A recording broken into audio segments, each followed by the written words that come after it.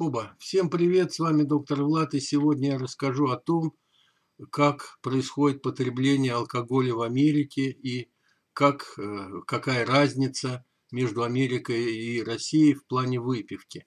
Вот, с чего это я вдруг начал? Ну, во-первых, у меня тут ролики есть о том, как распознать алкоголика. Я смотрю, люди интересуются. Вот, эта тема интересна. Это во-первых. А во-вторых, вот тут мне один товарищ, э, значит, попросил ну, тоже на YouTube э, задал такой вопрос. А, Владимир, здравствуйте, не могли бы вы рассказать как-нибудь, если будет время, о том, почему в Америке так все ухожено на улицах, везде флаги висят, куда ни глянь, ну и так далее, и так далее, да? Почему, почему в России такого нет?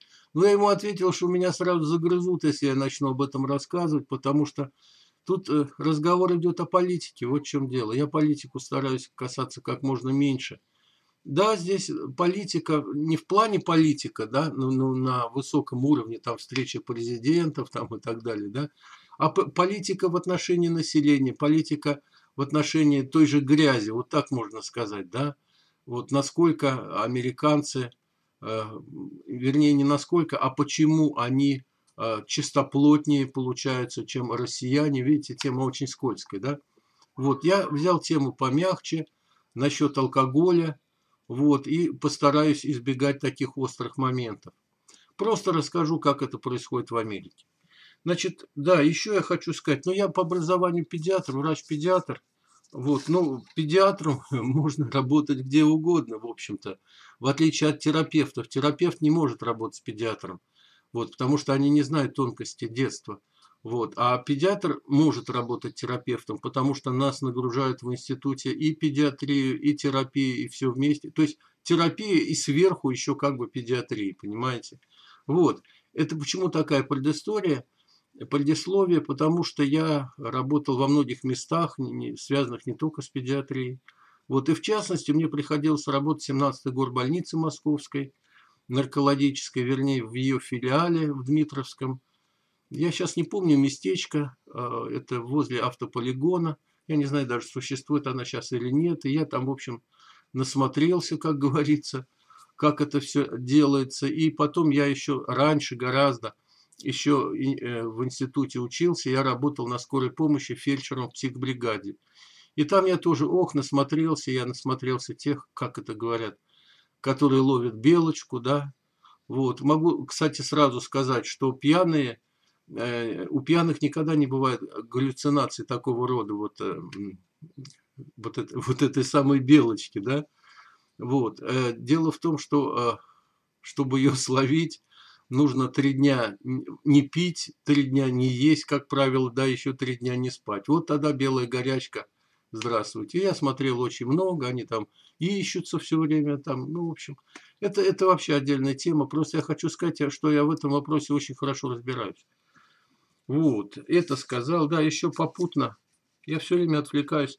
Вот со скорой помощью у меня тоже. Знаете, у инфаркта, вот сколько мы возили инфарктников, да, вот у них один и тот же симптом, который не, не, ну, практически не упоминается даже в учебниках медицинских. У них все время рвота. Причем у них даже тип характерный вот у инфарктников. То есть это мужчина средних лет, обычно очень интеллигентный, загруженный полностью работой, да, вот. И вот он лежит там, ну, мы, как определили инфаркт, конечно, мы его кладем сразу на носилки, и в, носи, в носилках везем, не просто он сидит, да. И вот у них всегда рвота, да, причем такая вот, он складывается пополам. Вот он лежит, а, вот так вот, да. Вот, вот такая рвота профузная, когда человек еще и, как говорится, ну, как я уже сказал, почти пополам складывается, это очень определенный э, признак инфаркта. Во всяком случае, такое было почти у всех. Ну ладно, это я просто вспомнил. Господь с ним. У меня много сегодня листочков, потому что тема огромная. Значит, итак, почему в Америке меньше пьют? Ну, давайте по порядку. Смотрите, вот в Америке какая политика, да? За рулем пить можно, выпить можно, но там очень-очень маленькие граммы, там можно выпить рюмочку э, крепкого, можно выпить бокал там вина какого-то или там бутылку пива, по-моему, да? И то, как правило, американцы сразу после этого за руль не садятся, еще какое-то время повеселяться, ну, например, на вечеринке где-то, да, вот, это можно. Но если в тебе больше, там, там такие санкции, что просто уму непостижимо. Тебя и штрафанут. Ты, ты должен нанимать адвоката обязательно. Тебя могут лишить прав на год, допустим, ну, первый раз, когда поймали. Да вы представляете, что такое для американца год, целый год не ездить на машине, когда он ездит каждый день. Вот. А после второго раза, когда поймают, то это вообще могут лишить прав пожизненно. Ты их никогда не получишь. И такие обычно селятся где-нибудь в даунтауне, в центре города, вот, для того, чтобы можно было ездить на автобусах и так далее. Это страшное наказание у американца отобрать права. Поэтому они не рискуют. Это раз, да. Дальше. Что еще? А, вот смотрите, какие законы, да, в Америке. Алкоголь не продают до 21 года. Никому, понимаете? Никому от слова совсем. То есть это в любом штате, это федеральный закон, в любом штате, если тебе нет 21 года, тебе алкоголь никто не продаст. Вот. И поэтому очень часто, э, ну вот если молодой человек, допустим, да, то у него проверяют документ. Ну, обычно драйверс лайсенс, водительское удостоверение, удостоверение, там стоит возраст. Вот. Причем в некоторых штатах, вот мы были с женой, проверяют вообще у всех. Вот ты покупаешь алкоголь, предъяви. Понимаете? Такая установка. Вот в Висконсине мы пару раз попадались. Вот, ну мы уже все, там, пенсионер. Ну, это, правда, давно было, еще мы не были там э, пенсионного возраста, ну, пускай 10 лет назад, да. Тем не менее, проверяют. Ну, видно, что дядя и тетя, как говорится, да, проверяют. И знаете, тут лучше не спорить. Ну, показало все, не нужно там ухмылочек, ну, что ты не видишь туда-сюда, мужик. Вот здесь в Америке есть такое очень интересное положение. Вот никто не может быть выше закона, да. Положено – выполняй. И в связи с этим я вот тоже вспоминаю, да, вот я сколько ездил, да, по Америке, я ни разу не видел нигде кортежей, которые летят там с сиренами, с мигалками, вот, все там перегораживается, значит, водители в сторонку, гаишники какие-то стоят, тут местные полицейские. Вообще такого не было. Понимаете? Вот это, это исключено. Э, Причем вот, ну, есть такие моменты, когда тебе нужно пропустить. Это скорая помощь, пожарка, они всегда вместе ездят, и полиция. Вот трое. Если едут с сиренами, кто-нибудь из них, или порознь, да, то сразу на обочину, да, и остановись. Ну, мотор не нужно выключать, просто на обочину остановись, иначе сметут. Вот это закон для всех, понимаете? И тоже опять его выполнять. Я вспоминаю, мы на скорой, когда ездили – вот, ну, давно это было, там, в 80-х годах. Вот, никто нас не пропускал вообще. Вот, ну, в общем, это ладно. Вот видите, никак без политики нет.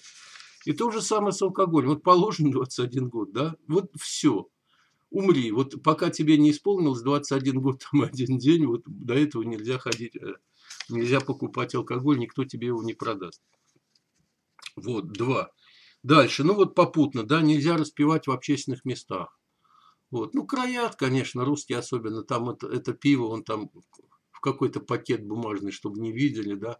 Вот. Ну, тоже это, это наказание. В общественных местах, на улицах не, нельзя распивать. Ну, арестуют, ну, запишут, пойдет запись на рекорд, так называемый. То есть, всегда и все будут знать. Ты устроишься, устраиваешься на работу, допустим, да, а там у тебя запись. Ой, распивал в общественных местах. Ну, все, и кто тебя возьмет-то? Дальше, вот насчет автомобиля интересно, смотрите. В салоне нельзя держать вообще алкоголь. Никакой. Вот. В багажнике можно. Но, ну, это я вот за наш штат, не знаю, как других. Можно, но только не откупоренное и в фабричной упаковке, понимаете? То есть, ну, смысл какой? Допустим, ты сидишь, выпиваешь, подошел полицейский, а багажники часто они, ну, не глухие, а можно просто бутылку назад бросить, как говорится, в багажник, да, и все. Вот поэтому, значит, в багажнике тоже. Вот Купил в магазине, поставил в багажник, привез домой, там хоть как напивайся. Вот. И да, кстати, вот еще, я не помню, рассказывал или нет, да, и наплевать. Вот случай был, значит, э, мама идет из магазина, и рядом с ней сын несовершеннолетний, там, 18-летний бугай, да, и он помогает ей нести сумку, а из сумки торчит там горлышко пива, да. Все, кто-то позвонил, маму заарестовали, наказали за это, просто нес. И в магазине, когда покупаешь алкоголь, если продавцу меньше 21 года, да, он сразу звонит менеджеру или там просит другого продавца подойти с соседней стойки, да, и он пробьет этот алкоголь и упакует его.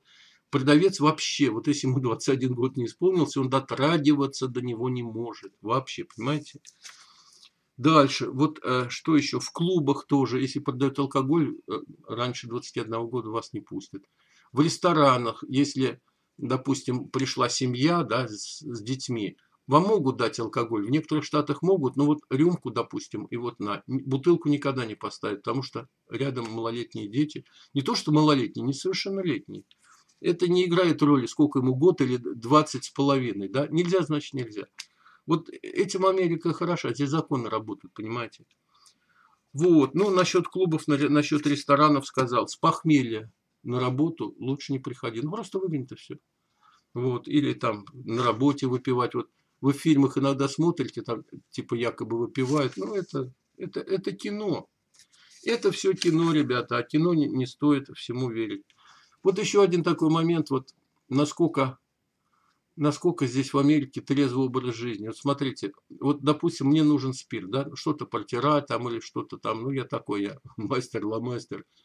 Вот, идешь в магазин, покупаешь за там пару долларов, по-моему, стоит 450 граммовая бутылка спирта, чистого спирта 70%, там медицинского, все. И, значит, э, ну, я приношу домой, вот пользуюсь, когда нужно, там, не знаю, очки протереть или еще что-нибудь, да. Вот, там очередь не стоит никогда. Вот они стоят, да, это нормальный спирт, хороший, э, ну, медицинский или технический, я не знаю, да. Вот, пожалуйста, это без проблем, я вспомнил про боярышник, вот, были разговоры, и в Рунете активно обсуждали этим боярышником. Вот здесь никому в голову такого, такого просто не придет, понимаете? Просто в голову не придет покупать что-то, что это того же поля ягода, что грибы собирать, да? Э, грибы не растут. Те, те грибы, которые ты собираешься кушать, они не растут в лесу, они продаются в магазине. И тот алкоголь, который ты собираешься выпить, он тоже продается в магазине в алкогольном отделе. Все. Вот. Американцы так проще жить, ребят. Вот есть закон, ты его просто следующему и все.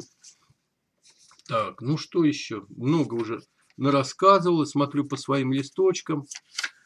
Смотрю по своим листочкам. Ну вот я, знаете что, пожалуй, даже уже закончу. В каком плане? Вот смотрите. А, не, не закончу. Вот, вот еще такой момент вот очень интересный. Как, как пьют, да? Как пьют. Вот я первый раз, когда сюда приехал, буквально второй день попал на, на какую-то вечеринку, да, и там вот просто бар был. Подходи и, значит, бармену заказывай все. Вот, он тебе дает большой стакан, насыпает его льдом, вот, и сверху там чуть-чуть ликера, допустим, да. Вот, но не чуть-чуть, он доливает стакан, но дело в том, что он же весь заполнен льдом, вот, или виски, допустим, тоже он тебе дает уже не стакан, а поменьше, там какую-то рюмочку, тоже весь льдом заполняет и сверху виски. Ну, что там, там какая крепость. И вот, вот так они бьют американцев, понимаете. Вот, или виски содовые, ну, то же самое. Это, это все разбавляется. Американцы не, не любят крепких напитков. Опять, ну, не смотрите на Голливуд там в кино. Там это, это все, все ерунда. Вот, и еще, да, вот еще такой момент. Вот я вспомнил своего тестя первого, да. Но он такой нормальный русский мужик был, Александр Осипович, да. Вот он выпьет бутылку водки, садится за руль, ему ничего не будет, да. Вот он едет прям как, вот, как нужно. Вот. В Америке такого нет, понимаете. Этим, этим не хвалятся, этим не хвастаются. Об этом вообще молчат. Вот такого нет, понимаете. Образ жизни другой. Вот именно стараются вот гордиться чем можно. Не тем, что ты выпил бутылку водки, сел за руль, да, а тем, что ты здоровый, что ты похудел, что ты загорелый, что ты крепкий. Вот, вот понимаете, чем, да? Чем, чем можно хвастаться. Вот это круто на самом деле. Вот. И вот в заключение я специально написал вот себе здесь, что именно нужно это в заключении сказать. Ребят, в Америке много развлечений. Очень много. Любых. На любой карман. Вот в России еще почему пьют?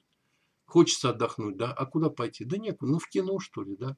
Ну в театр, ну не знаю, это не все ходят в кино, не все любят театр. Вот. А, а куда еще? Здесь развлечений сколько угодно, круглый год, любые. Иди там, я не знаю, в боулинг поиграй, да?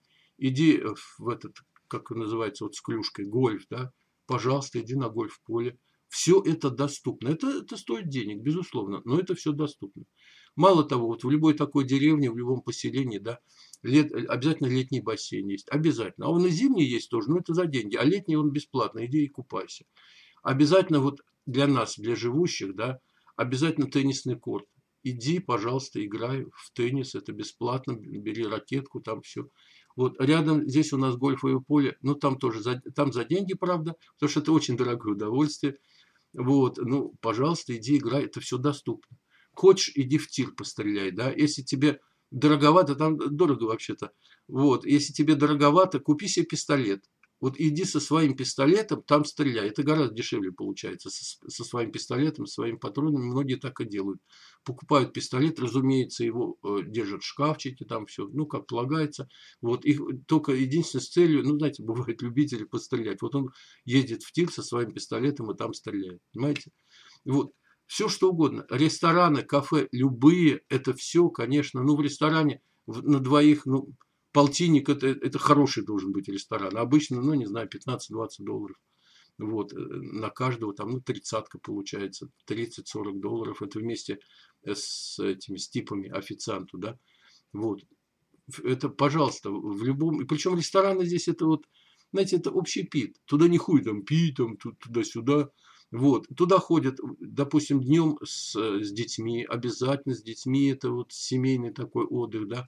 Вечером, вот в Чикаго, например, очень много ресторанов и кафешек, в которых джаз, допустим, да, вот, там немножко подороже, вот, и послушать джаз или что-то еще. Вот мы с женой ходили как-то, я никогда не забуду, ходили в какой-то третьесортный ресторанчик, там, не знаю, просто, ну, посидеть, отдохнуть. Вы знаете, там какая музыка была, как ребята пели хорошо. Какие-то, ну я не знаю, лати, с Латинской Америки, но у них вообще никакая абба не нужна, понимаете? Это очень высокого класса пение. Ну я в этом разбираюсь, да мне просто нравится. Вот так, любое развлечение, на любой вкус. И поэтому вот еще очень многие в России, когда, ну негде просто вот отдохнуть душой и телом, да, вот, а водка, вот она всегда. А здесь этого нету. И, то есть водка-то есть, пожалуйста, любая дешевая, да. Ну, здесь нету, как сказать, проблемы в том, как отдохнуть, кроме водки. Вот в чем дело. Это очень большую роль играет. Ну, ладно, я сегодня разболтался. До свидания. Если вам тема понравилась, ну, попробуем, может быть, продолжить как-нибудь. До свидания. С вами был доктор Влад.